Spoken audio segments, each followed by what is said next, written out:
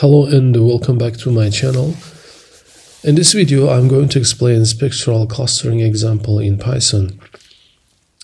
Spectral clustering is a popular technique in machine learning and data analysis for clustering data points based on the relationship or similarities between them.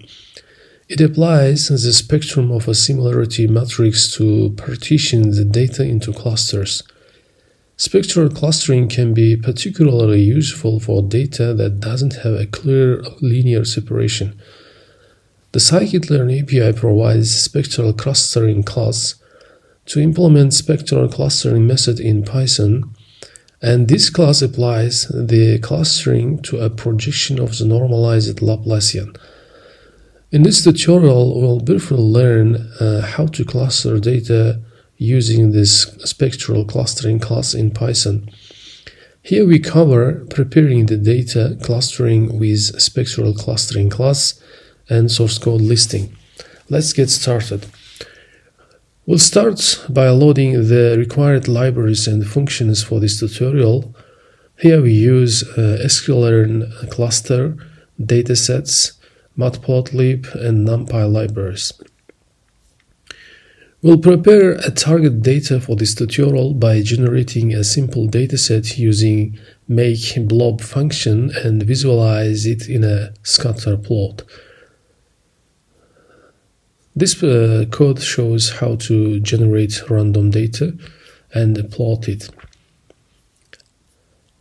And this is a target data to cluster Next, we'll define the model by using spectral clustering class. Uh, then we'll fit uh, on X data. Uh, the spectral clustering requires the number of clusters, so we'll set 4 uh, to n cluster parameter here. You can check the parameters, uh, the class, and change them according to your analysis and the target data. This is the default values of spectral clustering cl class. Next, we'll visualize the cluster data in a plot. Uh, to highlight the clusters by a color, we'll extract the level data from fitted model. Then we visualize it, and here is a clustered output.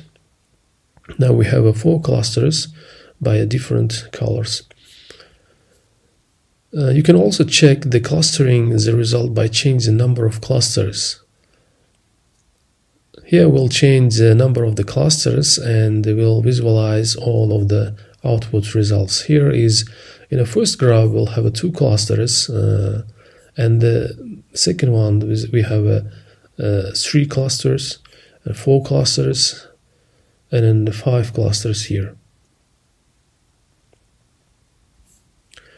In this tutorial, we'll briefly, we have briefly learned how to cluster data and visualize it uh, by using the spectral clustering class in Python. And the full source code is listed here.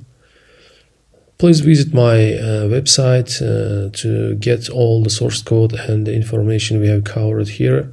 Please subscribe my channel and hit like button if you like this video.